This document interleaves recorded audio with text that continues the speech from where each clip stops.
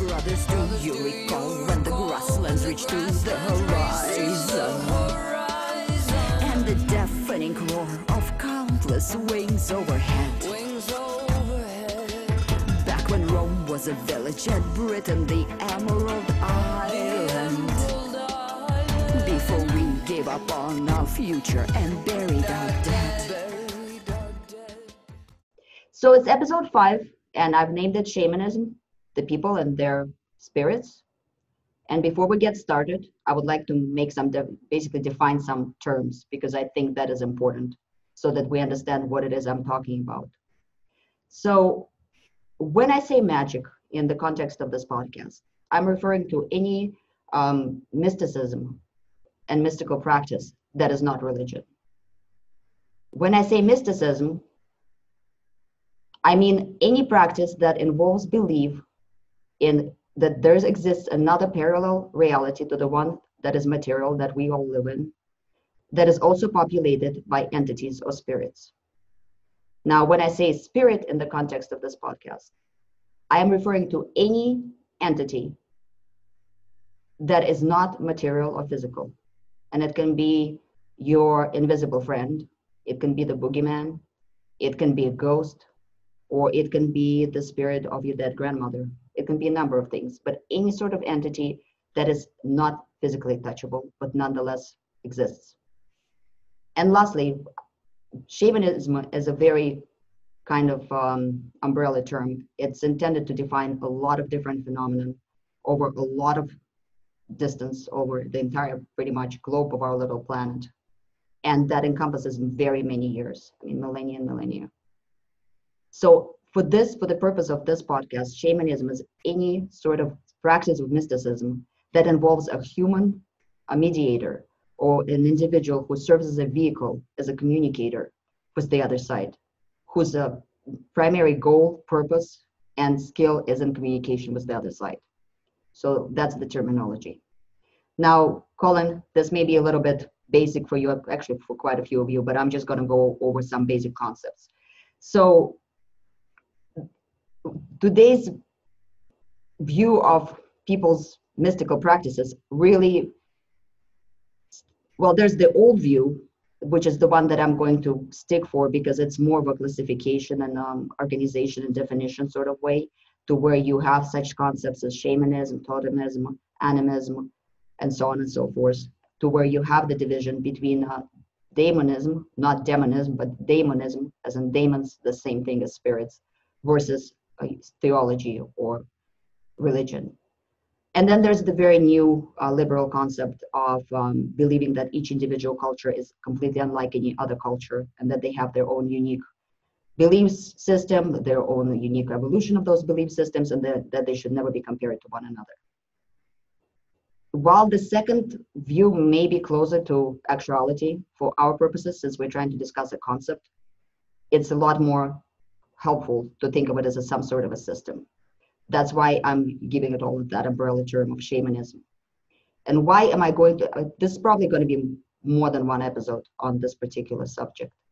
And the reason why is because I believe that shamanism is something that is very much essential, cornerstone to all of our modern beliefs, religions, cultural practices, ritualistic practices, superstitions, um, rit- rituals, specific rituals, even in monotheistic, um, very modern, very cognitive and kind of rational um, religious and logical practices. It's in our mass media, it's in our culture, uh, in cartoons, movies, fears, children's tales, everything. So, uh, understanding the concepts that lie behind all these mythical practices, shamanism, as I'm going to call it, I think is very essential for understanding the culture.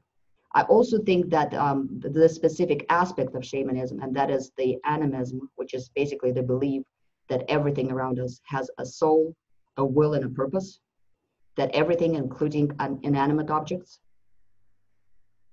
is actually, a, in a way, a living creature or a living being. I think that's something that is very basic to human nature. It is something that children develop independently when they're playing with their toys. If you've ever seen, you know, child play with a favorite toy, if you've ever seen a a child play with a stick and or a bouncy ball and decide and suddenly give it a name and call it, let's say, a puppy. Um, people tend to give souls to objects that they interact with. One of my favorite quotes regarding this, and it's from a book, it's not very shamanistic, but the quote goes like this Helicopters are the souls of dead tanks. And that's obviously veterans um, quote, and it's something that definitely refers to the situation where we have this deep-seated belief that objects around us, objects such as children's toys, such as, for example, a teapot that's been in your family for generations and generations, objects especially such as weapons and machines of war, tanks, swords, guns, they have a soul. They have a personality and that they absorb or form that personality as a result of lengthy interaction with the human world that they're capable of emotions, that they're capable of being hurt or being angry, that they can be helpful or incorporative, that they are beings just like me and you, that one needs to be able to navigate the interactions with. So, what is the main difference between religion and daimonism? Well, the main difference, the essential, the core difference, is that in religion, you always have a situation where gods are beings from the other side that are basically the source of ethics, of laws, and of behavioral codes. In daimonism, that is not at all assumed. Because in daimonism, there's not the sense of inequality between the human beings and the creatures on the other side. To where gods are generally viewed as something that is inherently more powerful and more um, capable of influencing reality than any given individual, in daimonism and in shamanism, spirits are believed to be no different than the creatures that populate this world. Um, another thing that does not tend to happen in shamanism, now it can happen in individual cases, but specifically in individual cases. In daimonism, you do not worship the creatures from the other side. Now, you can come across a specific creature that you may decide to worship, but you might come across a specific person in this world, very material, that you may decide to worship as well. But that is not something that is a precondition of interacting with the other side. Because the creatures, the spirits, the entities on the other side, they are varied, they're many, and they go from amoeba level to very high, almost godlike creatures, as we will see are in some cultures. And your interaction with each individual creature, your individual interaction, is going to be completely different than the next person's next to you. Because it depends with whom, on what day, under what circumstances, with what purpose, what intentions you are trying to interact. Um, and again, I already said that um, shamanism always it, it, precludes the idea that you have to have a human uh, conduit, a human um, practitioner, somebody who is particularly skilled, uh, talented at, and has been trained or has trained themselves, oftentimes trained, to interact with the other side in order to do it correctly. It is assumed that majority of human population is not capable of interacting with the other side, or if they do happen to interact with the other side, not being properly trained, uh, they are likely to wind up in disastrous circumstances. And let's see if there's anything else that I missed. Uh, yeah, and just the, the whole idea that, uh, you know, spirits are not good or bad. Spirits are just creatures. And for example, the exact same spirit by two neighboring tribes could, could be seen as a very positive and very protective entity. And by the next tribe over, it could be seen as a destructive, evil entity. Well, it's because that spirit happens to be the protector of one tribe and the enemy of the other. So again, they're just like people, they're just like any other creatures. So, and another aspect of all mysticism, all mystical systems at least, is that besides the natives of the other side, the other parallel reality that exists next to ours, and that is interconnected with ours, and that can actually influence the events in our material reality and vice versa. It's populated not only by the native spirits, but also by the souls of the dead human beings. Now, the role of those souls, the function of those souls, and the condition of those souls is vastly varied from one belief system to another. I mean, it can be that the souls might have their own individual section of the other side. They can become immediately deities on the other side, literally God, godlike. For example, um, you know, in some of the later um, monotheistic religions, I mean, we know one very particular character who became one with his father and ascended and became immediately a deity after having been a human being on this planet. Um, but um, a person could, a very powerful shaman in another belief system could die and through the suffering endured during death could completely lose all of his cohesion or her cohesion, lose all of their powers, all of their humanity, and basically appear on the other side as an equivalent of a plant and wind up having to be that plant for a long duration of time. Not as a result of some sort of punishment or misdeed, but just as a res- result of having died and lost its kind of solid form understanding of reality just through the trauma of death itself. So, what are spirits? Again, I already said that they are basically either native uh, inhabitants of the other side or they are mutated or literal souls of our dead ancestors. Um, now, there's different levels of these spirits. The other side is really populated by flora and fauna, just like this reality is. And when I say flora and fauna, I mean flora and fauna. Now, it's not in that, when I say I'm going to be using some animal examples, I do not mean that specific animal that is an I, I, identical copy of the animal we have here or plant, but it is an equivalent. It's their own version, alien to us, parallel reality version of, for example, what would be moss on our plane. So, for example, you can have spirit moss. Now, you cannot do an awful lot of things with spirit moss. Spirit moss is a pretty unintelligent, though plentiful material but you you cannot get it to do stuff for you. You cannot command it. You cannot tame it. You cannot threaten it. What you can do with it for example you can plant it around your dwelling so that it, if a spirit comes and tries to visit you while you're not there it will leave footprints in this spirit moss so that you know that an enemy has come and visited you. Another useful thing that some some uh, cultures specialize in some specific individuals specialize in is a bond or kind of a almost an empathic connection with various plant type substances in the spirit world. Where, for example, with the same moss, if you have an emotive connection with it, you could sense when it's being stepped on and therefore almost have like an alarm trigger system around your dwelling. It could be very useful to just burn out all the moss in any particular location. Maybe it is a poisonous moss, maybe it is a, some sort of a weed. But generally, plant type level spirits are not very beneficial, uh, with some exceptions. Now, the next level of spirits we have is what's an equivalent of an animal. Now, a lot of native cultures, various native cultures, and my knowledge uh, really lies more with the Siberian and Ural people, but um, a lot of them believe that animals are equivalent to human beings, that they're not worse or better, but they're definitely different.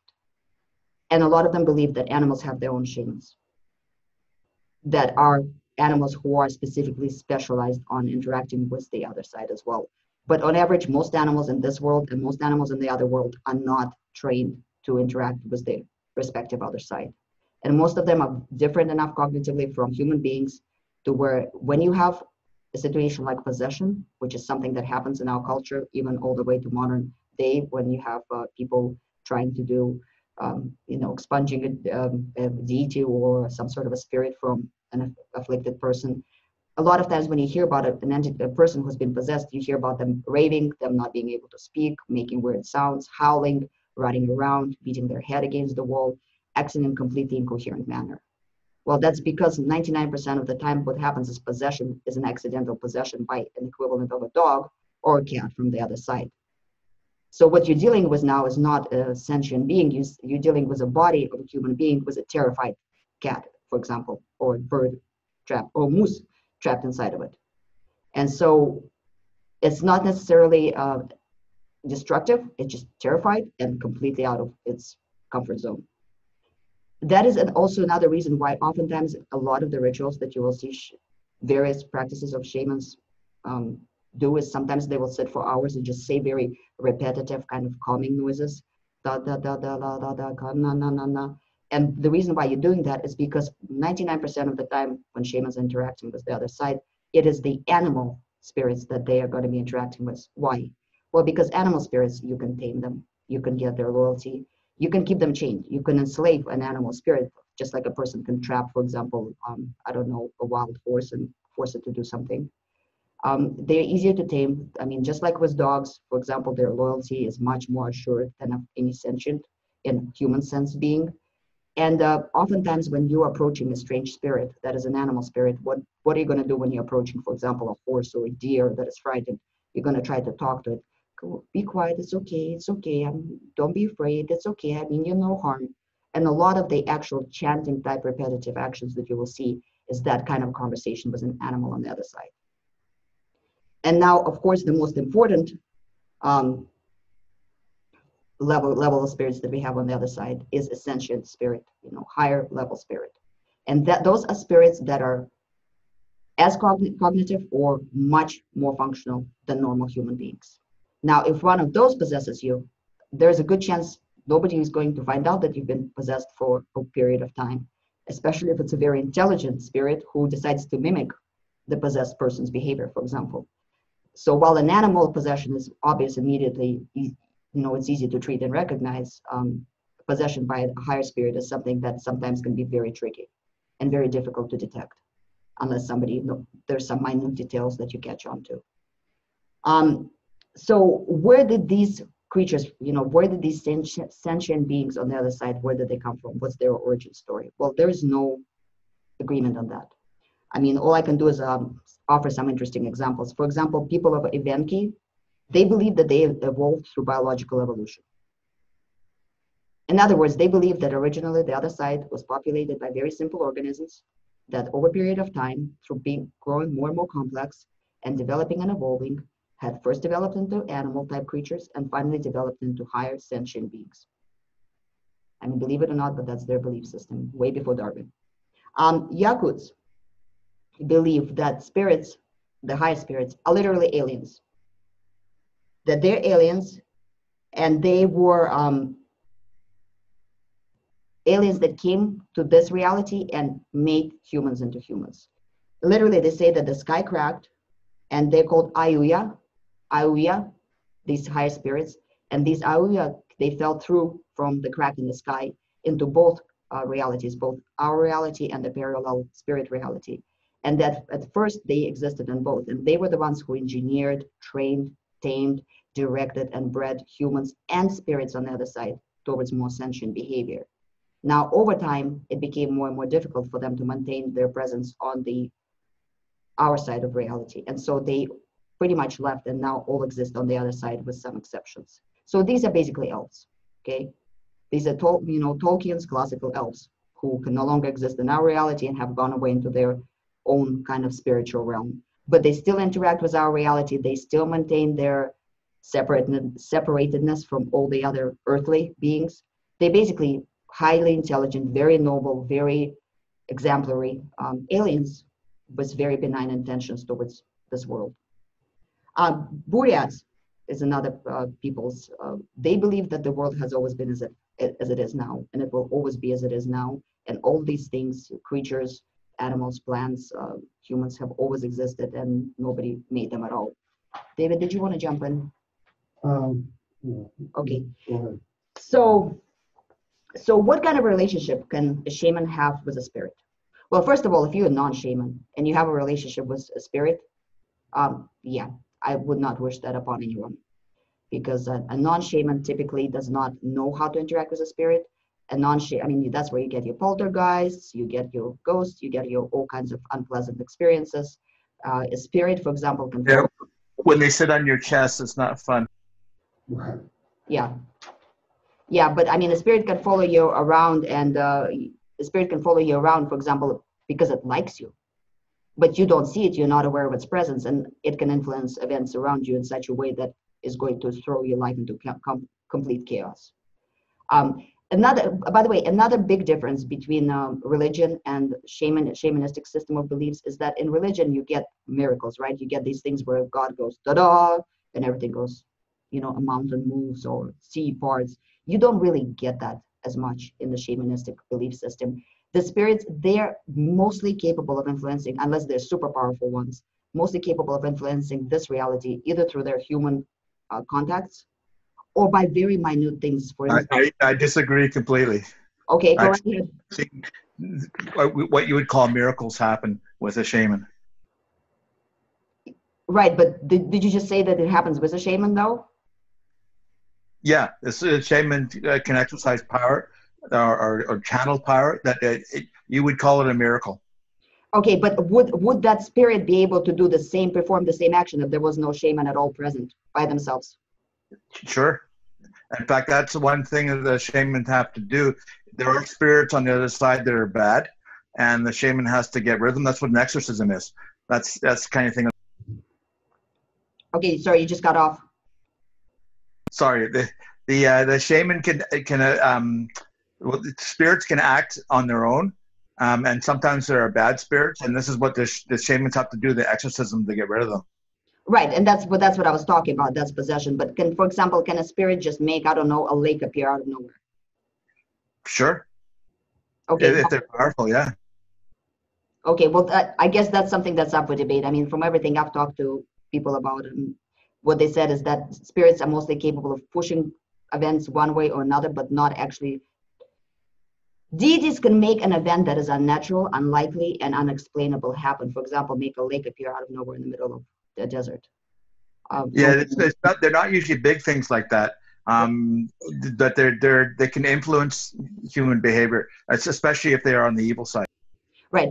To where spirits more likely to make the wind blow a certain direction and bring the rain clouds to over the desert, and then those rain clouds will dump. In other words, they're more organic with the flow of events. They they cannot go completely supernaturally against the flow of events in the same way that deities, I generally believe, like they will not cannot make a castle appear out of nowhere, out of thin air, or I don't know, feed people with one bread, you know, things like that. So that's what i'm getting at. I mean it's a very fine line because a lot of those uh, you know demonistic beliefs and a, lot of these animistic beliefs they kind of flowed over into what later became developed religions of various kinds. And sit at the core of those and then religions got layered and layered and layered on top of the original system of beliefs i guess but um so what can you do with uh, with spirits one of the things you can do is you i mean if it's a plant spirit i mean really you can just grow it cultivate it or destroy it, not much of anything, or you can connect with it and kind of resonate with it. Uh, with animals, you know, you can do a lot of things. You can have them as pets, you can have them as familiars, you can trap them, tame them, uh, train them, um, command them. You can, uh, I mean, some of them are highly intelligent creatures. I mean, you know, if anybody ever had, uh, I don't know, an adult terrier, it's that's the dog you can send to the train station to meet your friend and you know walk him home. I mean, some of these spirits are highly intelligent, but nonetheless, these are animal companions. They are uh, either out of loyalty, love, or by force. They serve you, and that they are fairly easy to control. Majority of shamans really deals with these level of spirits. Now, the highest level, the most coveted level of spirits, and at the same time, most difficult and dangerous level of spirits to interact with, is going to be your sapient spirits, your intelligent spirits. Um, so, what can you do with the sap- sapient uh, spirits? Well, first of all, you can serve them, right?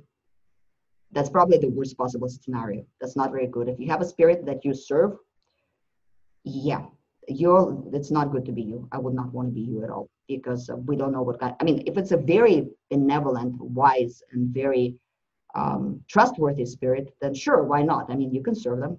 That's not a problem. But um, you know, how many ben- benevolent, completely um, fair, wise people do you find? I mean, that's your chances of finding a spirit that's like that great about equal. So the idea of having to serve a spirit is more or less not in your favor. Next thing you can do with them, you could be equals, and that's you know that's probably the best, the most ideal uh, sort of a relationship where you either partners, companions. I mean, by partners, I mean partners in your pursuits, companions, um, friends, even uh, when you have common goals or you operate according to a contract or an understanding, uh, where you operate with mutual respect and for or for and or for mutual benefit towards a common goal. Now, this is a fairly complex relationship because with that, you know, comes comes your kind of Game of Thrones sort of situation. Another thing is that this is a very um, investment intensive relationship because these in, intelligent higher level spirits they are very curious but they kind of are a little bit um, they have a little bit of add and you need to constantly be in contact with your companion or your friend spirit.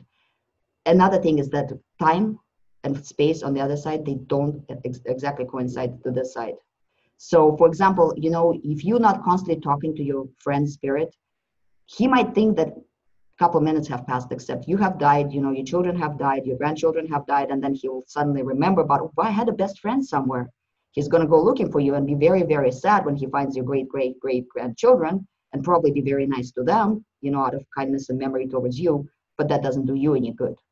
So you always want to keep in touch. You want to, they're very curious. To them, this reality is almost like a soap opera. It's something that's different from their world. They want to know what's going on. And how do you keep in touch with your spirit? Well, you talk to it. You talk to it, you tell it stories, you uh, share. I mean, they very much want to know about what's going on in human life and even things that to us may be very kind of benign. Oh, the snow fell. You know, spring has begun. New flowers opened up. A squirrel squirrel ran by. I mean, even things like that might be exciting and different to them because it's so different than what's going on on their in their reality.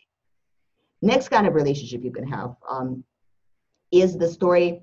Um, oh, and I had to actually I have little side stories I want to tell you. So the story of a partnership, the kind of mutual relationship with a spirit, is um, Tungusas. It's a tribe of uh, peoples called Tungusas, and they have their founding stories. The story of the old, yeah, I'm going to try to pronounce this. Pronounce this old Yehlm, and that was a shaman who saved their whole tribe there er, early on when they were just first forming from an awful vengeful spirit their tribe had this horrible madness cast upon them. Generation after generation, whatever they did, wherever they moved, people in their tribe would just go absolutely insane.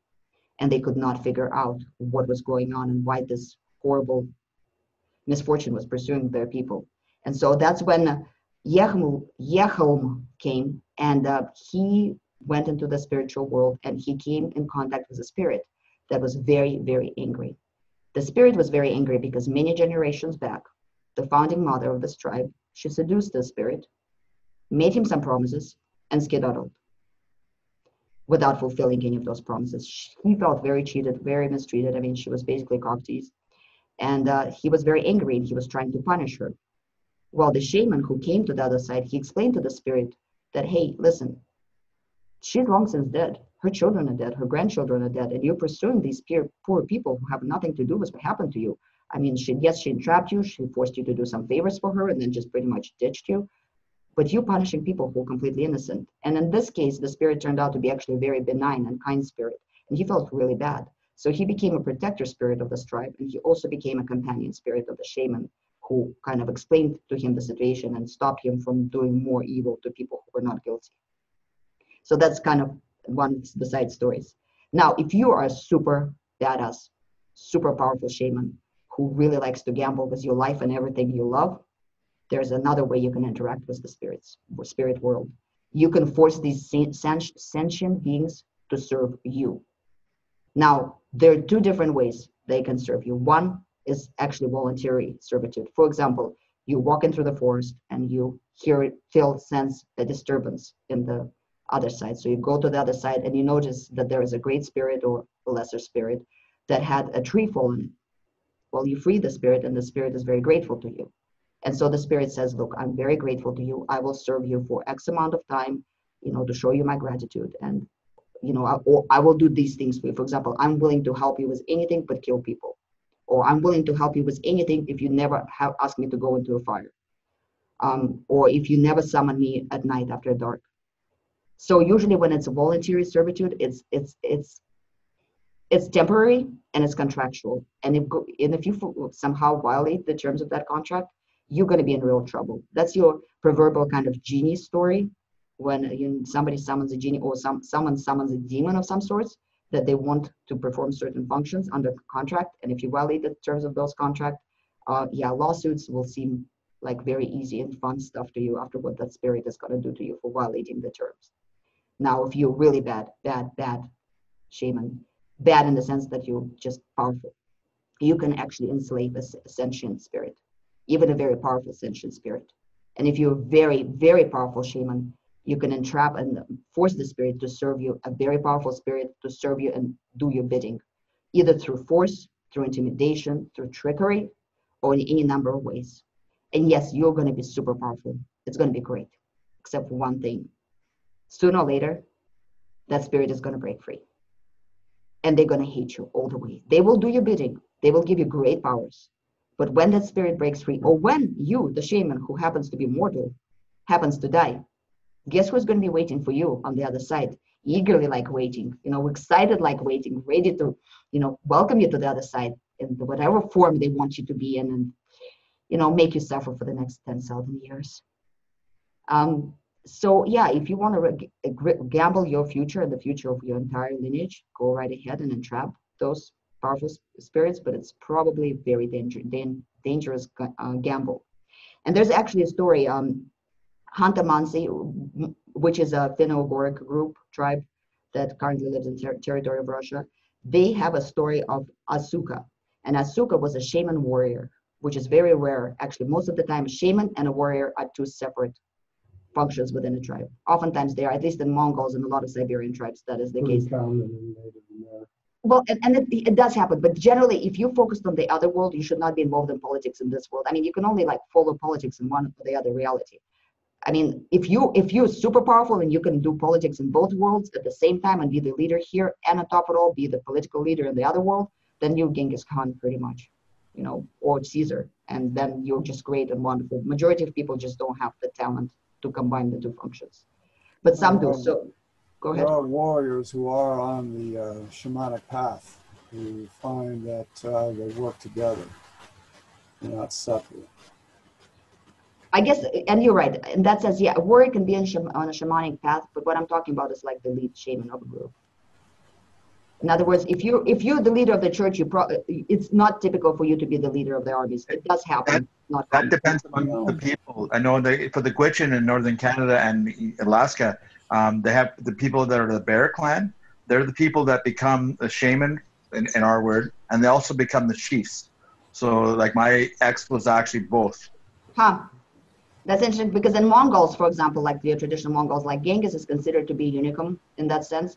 Well, Genghis was not a, actually a practicing shaman, but he, his gift was considered to be so powerful that it came through anyway. And he was, Mongols thought that he was fairly, well, him and his couple of his descendants uh, were fairly unique in the sense that they were both, you know, huge leaders of a large nation, I mean, enormous nation, and at the same time be practicing shamans. But um, since that lineage has more or less stopped being so prominent, that that's something that's just not done, for example, in any of the descendants of the Mongolian people, as far as I'm aware at this point in time. But I think it's I think it's just it's probably just depends on your individual talent. If you are capable of multitasking and doing all of the above, why not? I, I mean, there's no prohibition against it. But anyway, um, so this As- As- uh, Asuka, he was a warrior and he was um, uniting his people against the advance of the Cossacks, you know, in the Russian territory. And it was he was kind of like the native fighter against the advance of the civilization, and he was super successful. And the reason why he was super successful is because he had three very powerful spirits that he has entrapped and made his slaves. And these spirits, they, he could send them into enemy territory, you know, do reconnaissance, let him know what the enemy was planning to do, what was about to happen, and um, they would come back and tell him all this information. They would before his eyes, they were his ears. They, you know, explained the strategy of the en- enemy, and so his rebellion, his kind of fight for their native rights, was very, very success, successful. Well, he also had a beloved daughter, and the daughter was she had the the shamanistic gift, but he chose not to train her properly as a shaman because he did not think that the other side would be very safe for his little girl and he did not want her to meddle with it. So he just wanted her to grow up a normal person, to wind up having children, get married, and have a good life. Well, this daughter started having dreams every night. You know, beautiful young men would come to her and profess his love and do unspeakable, lo- lovely things to her all night long, and beg for her to pick him and be his wife. Then another young man would come to her and do the same thing, re- repeat. And so all three of them kept coming to her and entreating her and professing their love to her, these three beautiful young men, until she just did not know what to do anymore. And that's when all three of them came to her and they said, Look, we love you. All three of us will love you. We will give you all the power. We will give you eternal youth. But you have to do something for us. You need to pick which one of us you love truly. So we do not squabble among ourselves anymore. So we our hearts are not broken. You need to choose your beloved, your chosen husband. And to do this, you need to sneak into your father's tent and take a golden pin out of his clothing and bring it to a certain mountaintop at a certain time and give it to the one that is your chosen one. Well, she was smitten by one of the spirits and she went and she got the golden pin and she went to the mountaintop. And in the morning, they found her pretty much completely in a vegetable state. She was completely irre- irrevocably, irreversibly insane and just basically vegetable. Her father who at this point in time has lost control of the three spirits that have been serving her, serving him, because that pin was one of the items that helped him keep them in control. He spent seven days and seven nights bedridden, fighting um, a battle on the other side to try to prevent these creatures from destroying him as well and destroying all his people. He was a very powerful shaman. He was able to chase these spirits off. He made them go away, but he no longer had his servants. And he no longer had his eyes and ears. And of course, the whole rebellion collapsed. And he was so devastated by the loss of his beloved daughter, who was never the same again, that he just wound up surrendering, surrendering and signing a peace. So the moral of the story, if you have powerful creatures serving you, be very careful about what people around you do, they just watch your back. And if you have a child that has the shamanistic um, gift, you probably would be smart to educate them on how to handle it properly and what to do with it. So it's, it's one of those stories that is told. Now, the most interesting relationship and most complicated and dangerous relationship one can have with a spirit is um, marriage or what's called, you know, shamanistic spouse or in different cultures it's called different things, but you can have a romantic relationship with a creature from the other side. Now, these spirits, they they can come off as human beings. They can take on the form of human beings. And oftentimes when they're seducing somebody, they will take on the form of a human being, and moreover, the human being that you desire most, of whatever gender, whatever appearance you prefer. But their natural form is not the same as human form. I mean, this creature could be, I don't know, a centipede with a huge lion's tail and glowing wings. Um, it could be the size of a mountain, or it could be as tiny as your fingernail. But they will take on the form of whatever it is you most desire in a sexual partner to be with you when they're seducing you. And if you have a relationship with a spirit, it's no different than having a relationship with anybody else. Except these spirits, they are going to be around you all the time. They're going to help you every way. They're going to totally believe in your power and support you. They're fairly sincere and passionate in their affections. By the same token, they are going to want to spend a lot of time with you. Yes, they will be there when you die on the other side, and they will welcome you, and they will help you over for real, help you over to the other side, and make you, you know, your kind of acclimatization to the to the new world very easy. But while you're alive, good luck going to the other side and talking to any other spirits at all. Because if hey, if you came over here, what did you come over here to hang out with me or go hang out with all these other people? I mean, your chances of having growing as a shaman, of developing, I mean, you can have a dog spirit, but any other sentient spirits, nope. These things are jealous. These things are very jealous, not only of other spirits, but also of other people. Um, so if you're a shaman with that kind of relationship and you meet a woman or a man, depending on your or on your preference and sex uh, that you have feelings for, that spirit is going to make their life absolute disaster. That spirit is going to want to have sex with you a lot all the time. So guess what? Every time you go to bed and you fall, fall asleep, every time you daydream, every time you hallucinate, guess what you're going to be doing? A lot, all the time, 24 7, and nothing else. Um, these things, um, they, um, it can get to the point where they can pretty much, I mean, everybody heard about stalkers. Well, now imagine you have a super powerful spirit of the mountain that's stalking you day and night. And relentlessly does not even understand any of the human morality does not un- you cannot get a restraining order against it. I mean phantom of the opera is, is a very happy story of a girl who had a spirit fall in love with her. Now that was a very sensible reasonable spirit. She was super lucky because after a bunch of people had very unpleasant experiences she was able to explain to him that look you know that's not going to work out and he was reasonable about the whole thing. There's a very interesting story um, uh, that um, Khalkha Mongols, which are the Mongols, Mongols, they have these um, shaman, um, their kind of central shaman who is a very legendary and a very terrifying figure. Now, his name is uh, Bo, and Boa means dark shaman. Now, dark shaman and light shaman, it's not good or bad. I mean, different tribes call it different things, but in generally, there's one category of, sh- if there is a split in types of shaman, there's one category who influences the other side and the spirits mostly by negotiating with them, seducing them, um, bribing them, and in other words, trying to be, um, trying to convince them. And then the dark shamans, those are the light shamans. Now the dark shamans, they do use brute force. They will threaten, they will um, they will frighten, they will you know hit, punish, and injure, and in other ways physically impact the spirits on the other side. They're very controlling. They're very forceful. So even though they're not necessarily evil as people, sometimes that kind of tendency towards the force and violence can translate into a more unpleasant character, you know, in, in a human sense.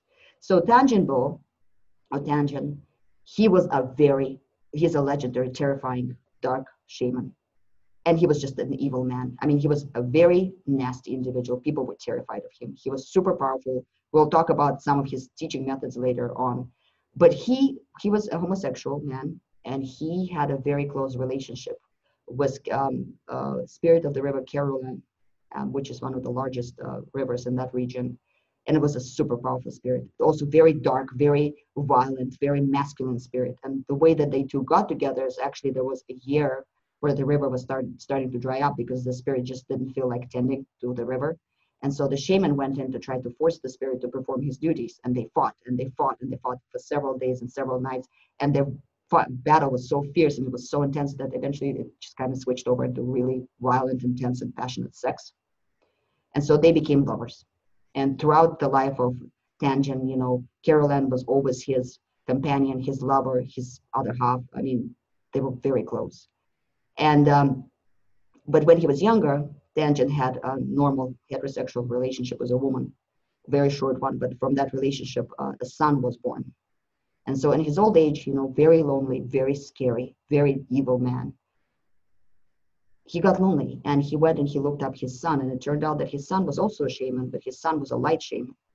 And he brought his son back with him and he started teaching his son. And over time he developed just a very tender very sincere loving father-son relationship with, with his son because he was just a lonely uh, old man whom everybody hated and feared and he started gro- growing closer and closer to his son and the kid was like in his 20s at that point in time right and of course of course after a while carolyn got very jealous of this relationship. He felt that his lover is turning away from the dark side, that he's becoming, you know, all too soft, too, you know, lovey-dovey with, with his offspring.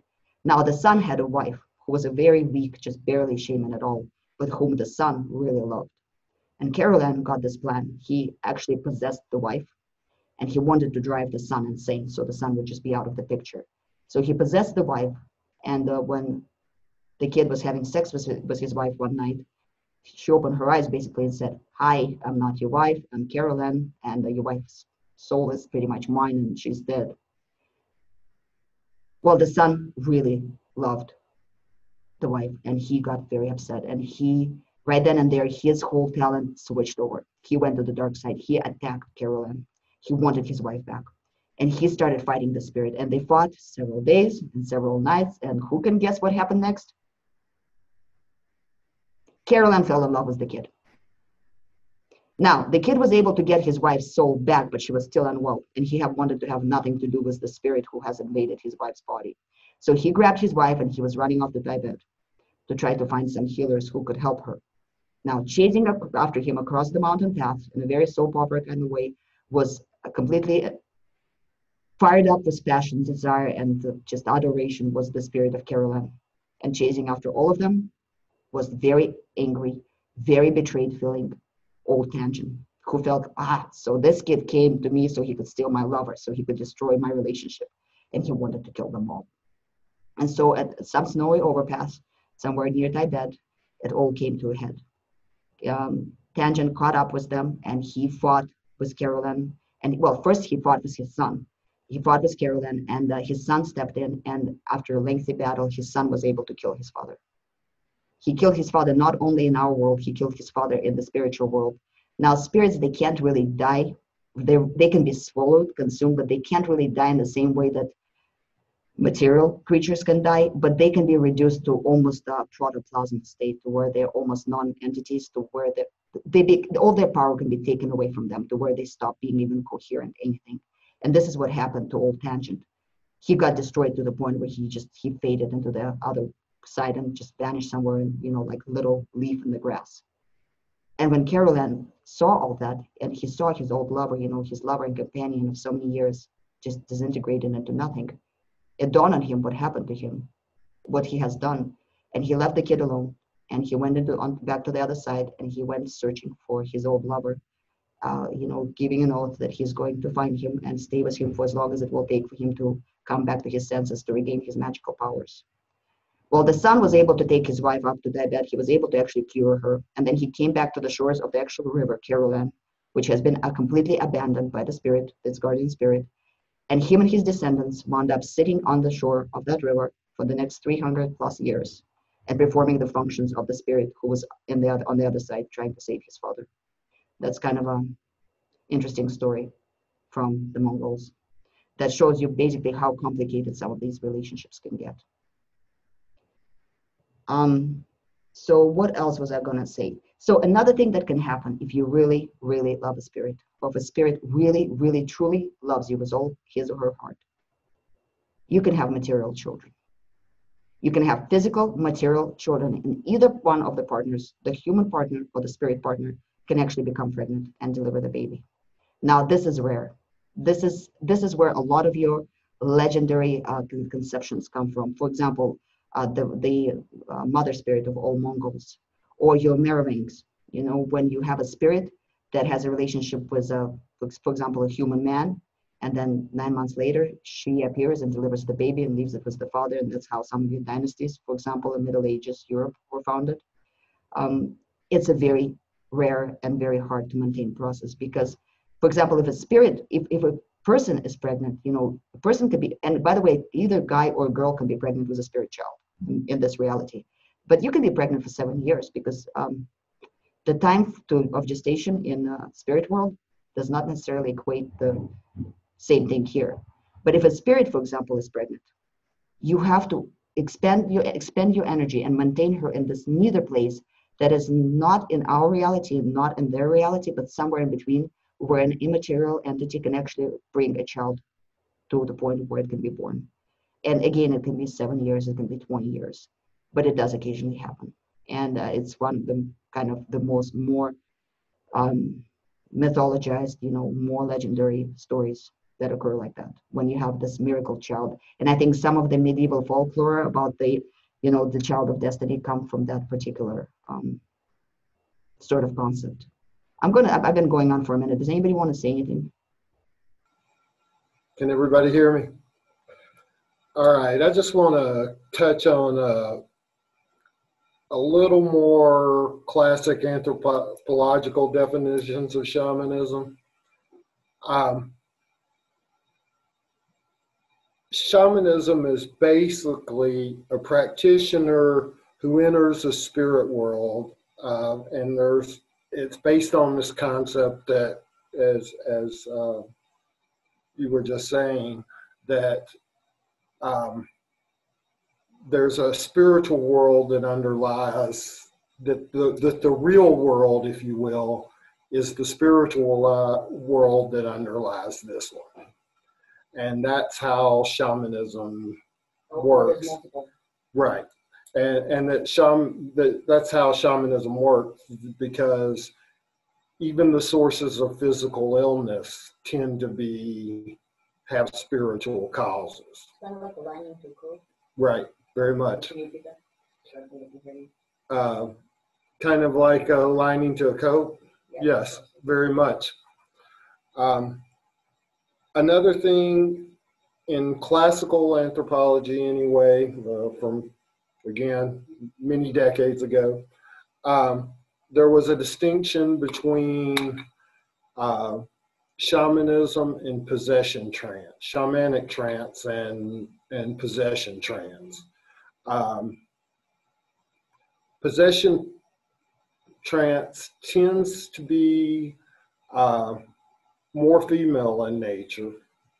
Uh, females tend, tend, and the practitioner is like the witch doctor outside, uh, who who who guides the uh, spirit into an individual. And in a lot of modern religion, the the big religions are a, a pl- an expansion of that, if you will uh, the Holy Spirit coming into you and possessing you, or or that kind of thing. Um, whereas shamanism is much more about not uh, providing answers as seeking answers. Um, and in closing here, I'd just like to point out uh, a difference between traditional shaman out of uh, various particular cultures and how they have culture, the whole cultural backing, uh, and what we would call neo shamanism of this day and age, where um, you don't really like what I practice basically. Uh, I don't have those years of in-depth traditions that that are fully supported by the culture. Like in one of the Andean, and I can't remember what group it was, uh, but when they would take hallucinogenic uh, trances and all experience the same interactions with their jaguar motif, which and and it would be a cultural, a shared cultural experience. It's hard to get that kind of depth in neo uh, shamanism. You there are some advantages. You can draw from a whole lot more different traditions, and and find value in those. But at that same depth, it just is not quite as powerful. That's that's pretty much where I. am. Yeah, her grand her grandmother, and in fact, uh, if she was going to do a, a healing medicine for someone and wasn't quite sure of the ingredients, she would talk to her grandmother. Now, the fact that her grandmother's been dead for quite a few years didn't make any difference to the communication. And in fact, she would even go back further if she needed to. Um, touching, communicating. Uh, Okay, well, we lost Colin. if, and, but not everybody on the other side. And because her idea of like the her understanding of, of the spirit world, as we would call it, is quite a bit a bit different than what you're you were talking about. Like a spirit is basically um, a person that's died and gone on. Not all of which can communicate with this world. There are also on the other side there are bad creatures like demons, and she called them jinns, which are a, a lesser demon, um, which she had to deal with quite a bit. But um, and the idea of an animal spirit, animals have spirits, but there's no such thing as an animal spirit in the way you were talking about. Like our, our inanimate objects, like rocks and things, don't have spirits, but a, but an inanimate object can be imbued with a spirit. And so she would fairly regularly destroy things in our house because they had like things were put in them, or go into a store and, and clean the store, that kind of thing. So, but this is very traditional stuff that goes back thousands of years. No, I mean, and this is just the, you're absolutely right. I mean, this is just the introductory episode. I kind of wanted to give a very broad definition of what it is we're dealing with. It varies greatly from one culture to another, greatly, greatly. Each culture has their own tradition, but there's certain things that are uh, similar enough to where you can unite at least into a very loose kind of um, similar category. A lot of these practices, anywhere from, you know, North America to Siberia to Asia to Thailand uh, and I don't know, like some even you know Japanese tradition to uh, Africa to uh, to Aboriginal to just about anywhere else. I mean, the variety is enormous. There's so many different ways, so many different takes, so many different systems of beliefs. Uh, but some things are the same, and you know, each each um, particular culture has its own view of what a soul is because that's what I want to talk about in the next one was what is a human soul because from culture to culture, it is anything from as simple as what we have today in the um, modern monotheistic paradigm to something that is so complex that you, it makes ancient Egyptian concept of um, a person's soul look very simple. And where the souls go and what function they serve and whether they're alone or they're joined by other entities in reality just really varies from culture to culture for sure. Anybody else? I was going to just uh, interject uh, one thing on that note that you just made, and then I was going to comment on something that David said. But um, like, yeah, a lot of it is very similar. Even in, I don't know very much about African culture, but um, the concepts that you were talking about about our world and then the uh, spirit world.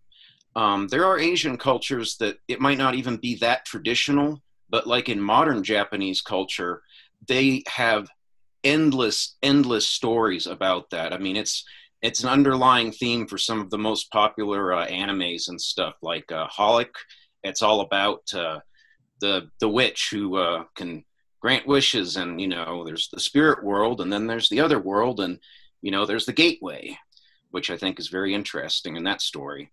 But then um, about what David said, um, the whole uh, kind of like a, a collective uh, group experience. It's maybe a little bit more difficult now for people that practice uh, shamanic religions. I am really fascinated by all the stories and all of the uh, accounts that I've read about some South American tribes that continue to practice their old shamanic uh, religions, or not religion really, but their ways.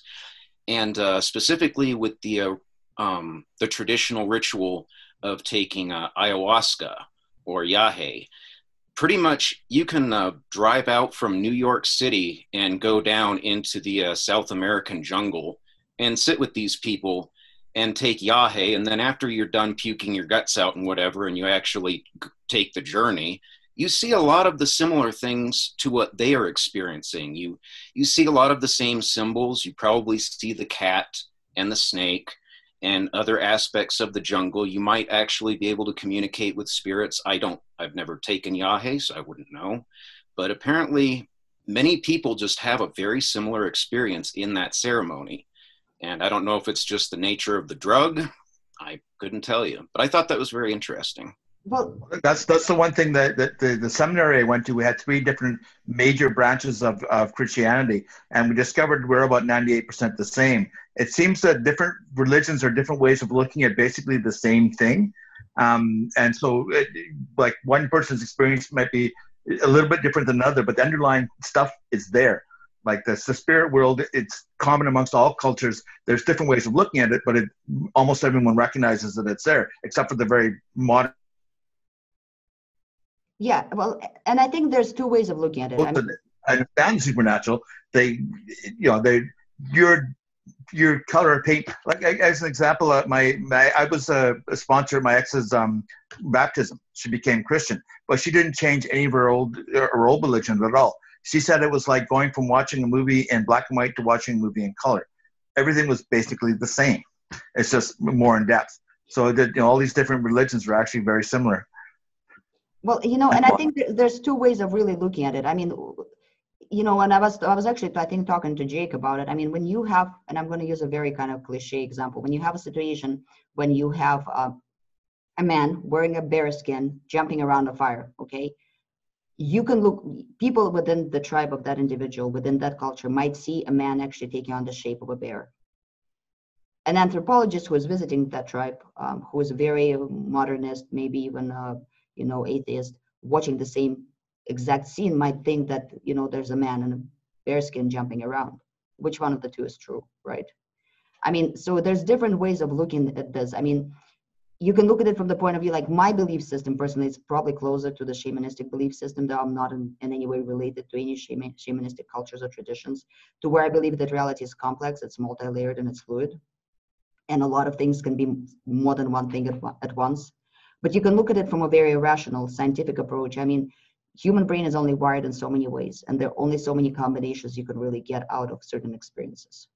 Um, if all the people are part of the same culture and they think in the same paradigms and they think about the similar subjects because day in and day out they're doing very similar activities their association um, associations potential is going to be limited to a certain number of you know of the animals they're familiar with of the worries that you know are common for that population of the uh, traditions that they're common commonly experiencing Another lady whom I'm going to bring up later on, Barkova, she is a mythologist. She studies actually, she's a folklorist and a mythologist. She had an interesting theory when she was younger, which she denounced since, but I think it's actually a very good theory. You know, because people throughout history have spent a lot, a lot, a lot of time and a lot of physical and psychological effort practicing these rituals. People back then were not stupid, especially the, the very early days when really your time was very much dedicated and your effort was very much reserved for survival related tasks, right? And yet people would spend up to 75% of their daily time on practicing the same rituals. Why would they do this behavior if it was not beneficial in any way, shape, or form? Well, her theory was that when you have a whole culture, whole community that in which every single individual wholeheartedly believes in functionality of a ritual, and every one of them contributes emotionally, psychologically, physically, and even psychically in a way to the benefit of that um, ritual. I mean, one of the two things either it's self, um, almost like self fulfilling prophecy, self hypnosis, and mutual, almost moving of the events in a certain desired way because everybody is trying to perform all the maximal actions in order for it to happen the way that they want. Or you can always almost look at it as a magical battery.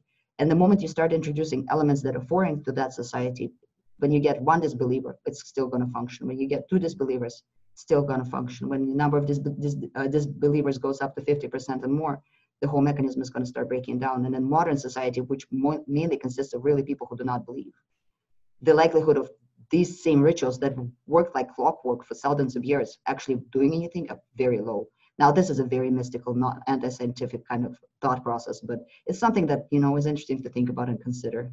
Well, I just want to finish off before I let everybody go. Just was a, you know, you brought up Ryan, you brought up some uh, Japanese uh, anime, and I just want to recommend some uh, cartoons for people who may not be present necessarily right now, but might be watching this video later. Um, the Last Unicorn is an interesting take on that kind of a very fluid, very different reality than ours. Um, Troll and the Winter Magic, not as popular it, it, here in the United States as, as, it is in Europe. Troll and the Winter Magic is a very interesting story, very interesting take that's purely shamanistic in its nature. It's straight up a shamanistic story. And then out of the very classical Japanimation uh, is uh, Princess Mononoke and My Neighbor Totoro and those are two um, films, animated films that are pro- probably as shamanistic as you're going to get in their whole concept and animistic as you're going to get. And I think that's about it. Oh, you know what? I didn't do a shout out to Marwaen. Marwaen, thank you for letting me use your material. Thank you, guys.